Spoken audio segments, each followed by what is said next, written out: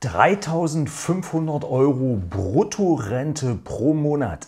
Ist das tatsächlich machbar möglich? Mein Name ist Peter Knöppel, ich bin Rechtsanwalt und Rentenberater von Rentenbescheid24.de.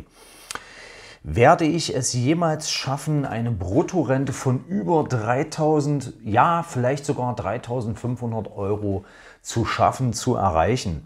Ist denn das überhaupt möglich? Solche Fragen sehe ich manchmal oder lese ich manchmal im Internet und ich habe die einfach mal aufgegriffen und wollte selber mal wissen, ob denn das theoretisch machbar ist und ob das bei uns zum Beispiel im Vergleich zu dem, was wir an äh, Rentenbescheiden jeden Tag sehen in unserer Rentenkanzlei, ähm, sagen wir mal, in greifbarer Nähe ist.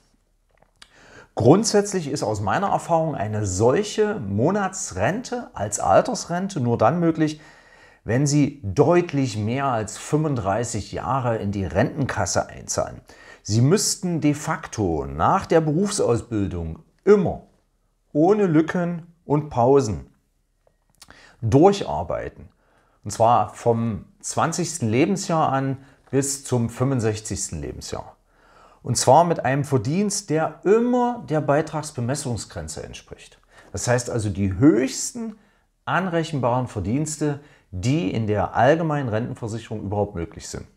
Und für das Jahr 2022 liegt die Beitragsbemessungsgrenze in der allgemeinen Rentenversicherung im Bereich West bei 84.600 Euro Bruttojahreseinkommen oder 7.050 Euro monatlich Bruttoeinkommen.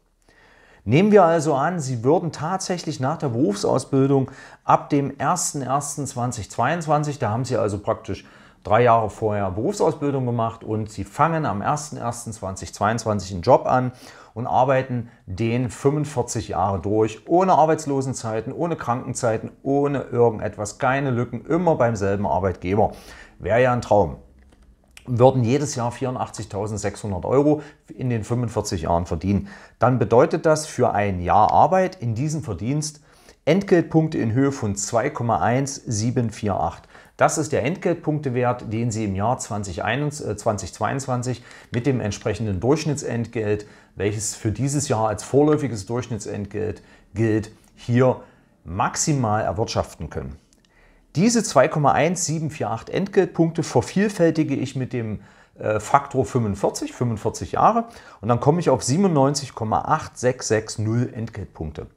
Und da wir ja davon ausgehen, dass Sie ohne Abschlag in Rente gehen mit 65 und 45 Jahren Arbeit, ergeben genau diese 97,8660 ähm, Entgeltpunkte eine Bruttomonatsrente nach aktuellen Rentenwert 36,02 in Höhe von 3.525,13 Euro monatlich. Nach Abzug von äh, Kranken- und Pflegebeiträgen in Höhe von rund 11 Prozent, das ist der Wert, den wir, jedes, äh, den wir dieses Jahr 2022 pauschal immer ansetzen, würde, nach, würde unser Versicherter 3.137 Euro und 37 Cent brutto Monats, äh, Entschuldigung, netto Monatsrente ausgezahlt bekommen, wenn er dann nach 45 Jahren Arbeit in Rente gehen würde.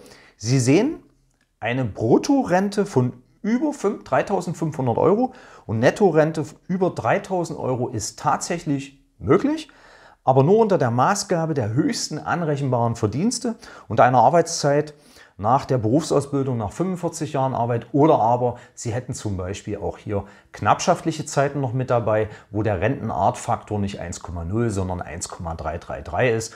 Oder Sie würden zum Beispiel äh, in die Rentenkasse noch zusätzlich Beiträge einzahlen zur Abgeltung oder Abmilderung eines ähm, Aus oder zu, zum Ausgleich der des Rentenabschlages, den Sie zu erwarten hätten, wenn Sie vorzeitig in Rente gehen mit einer Rente mit Abschlag und dann doch nicht in Rente gehen mit dieser Rente oder in diese Rente, sondern erst tatsächlich nach diesen 45 Jahren Arbeit. Also unter diesen gegebenen Gesichtspunkten könnten Sie eine solche hohe Rente schaffen.